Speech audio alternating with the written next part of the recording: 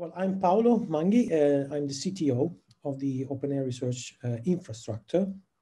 And what I'm going to present today is one of the uh, core services that we are offering, technical services, uh, called the OpenAIRE Research Graph. Now, uh, OpenAIRE is a no-profit um, organization. Uh, we are working in Europe and to offer services in support of open science, from training to support support trained trainers at the level of the institutions and the level of the communities and the countries. But at the same time, we offer a number of services, technical services, in support of open science in general. So to simplify life to those willing to uh, carry out activities in an open science, say, way. So fair and reproducible where possible, but open at the same time.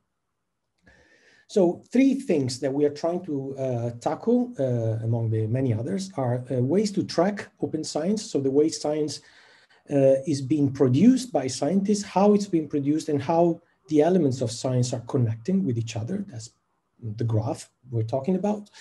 Uh, we would like to monitor open science in terms of uh, indicators like quality, impact, or simple raw numbers. And we would like all this content and material to be available to anybody willing to do the same. And the same holds for discovery. So discovering in an open science world is a little bit different than uh, in the standard world of articles, uh, since we should consider open science as, uh, let's say, a, network of objects interconnected, which together enable uh, correct uh, reproducibility, assessment, and, uh, of course, scientific reward in the end.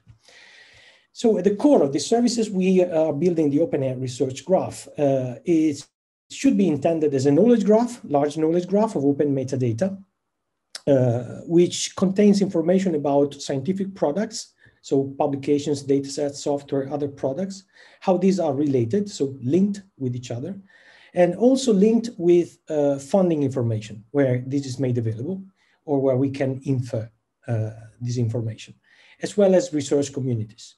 So you'd be able, for example, accessing the graph to understand if a publication has been funded by a given project in a given, in a, from a given funder or multiple projects from different funders, how these are connected to uh, organizations, which are the authors behind, and how the publication is linked, for example, to a software, a piece of software in GitHub, or to a piece of, or, or to a data set that is somewhere stored in the, in the network.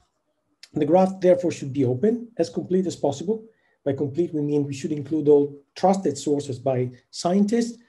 Uh, deduplicated, because it's very typically the case you collect the same uh, metadata information about the same object from different sources. Uh, transparent, so everybody should be able to reproduce the graph and find ways to do it, uh, but at the same time, uh, be able to understand where the information that is contained in the graph comes from, so proper uh, provenance information.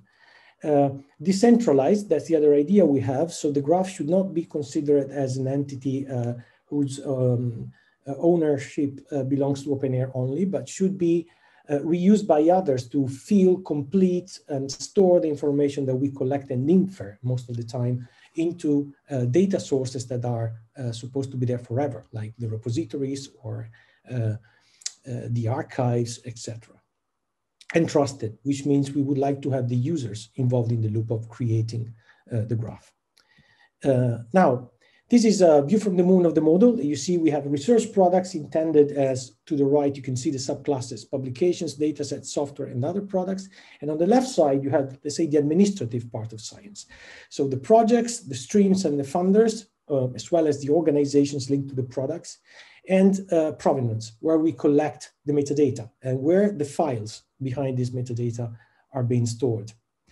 Uh, to give you an idea, we're collecting from actually 17,000 sources, not 12,000, so the number has changed. And we uh, collect from a variety of sources. Some of these are known, uh, like uh, the uh, Crossref and DataCite, but of course we range from ORCID, other kinds of registries uh, like uh, grid.org, ROAR, Microsoft Academics is in Unpaywall. Uh, we dig into GitHub, all possible publishers, of course, the archives, the open archives or the preprint archives that are available out there. And we also dig in into the research infrastructures of Europe which are the place where scientists perform and find the services to, to perform their experiments.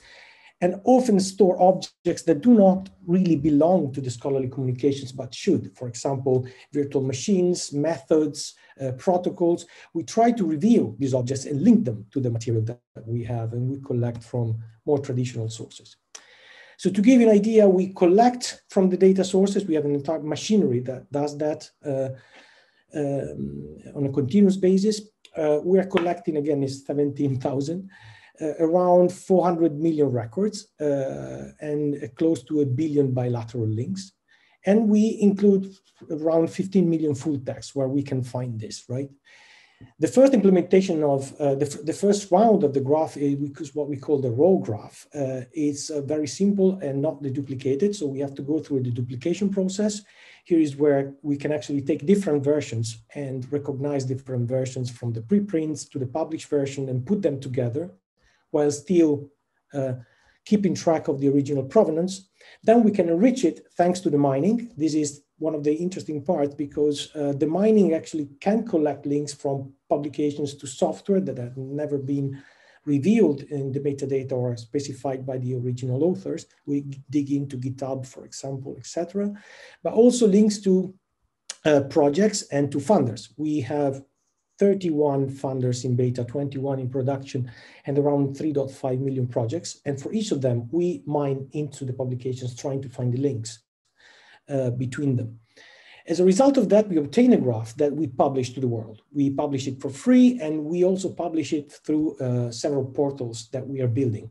Some of them tailored to communities, some tailored to monitor, for example, find for the funders. We want to know how many open access or non-open access publications they have, how many of these are linked to data sets and to software, uh, how many double dipping, let's say different funders are funding the same products, um, studying uh, the, the trends of science and so on. And uh, we are strictly connected with the, yes, with the um, European Commission participant portal. So uh, project coordinators can uh, collect uh, the information from there and be, let's say, suggested, recommended, which are the objects they have produced and therefore delivered to the to their funders. Um, but uh, I cannot go back here. Okay. Uh, among the consumers which are not visible here is uh, Scopus, SciVal, Mendeley. They use our APIs because we have the largest collections of links between articles and publications. So Whenever you click on Scopus, you get the list of uh, data sets linked to uh, your articles thanks to, to the graphs that we're offering. And uh, these are the challenges we have to deal with. So heterogeneity, quality and accuracy and completeness of the graph. Uh, we've done, I think, a good job, but there's a long way to go. And uh, you can find everything you need at develop.openaire.eu for the APIs. Um, you have, uh, I go here, uh, several dumps that we publish regularly that you can collect and play with uh, to perform your research or develop your services. I'm not going into the details of this, but uh, there's a full collection called the OpenAIRE Research Graph in Zenodo. We're very open to collaboration. This is the, the so uh, we offer our data infrastructure uh, and the, the mining infrastructure, which is very large to those who are willing to uh, run their experiments if they can improve the graph for the sake uh, of uh, public good, let's say, because we want the graph to be owned by the community, not by us. We want it to be free at the point of use. So that's the final idea.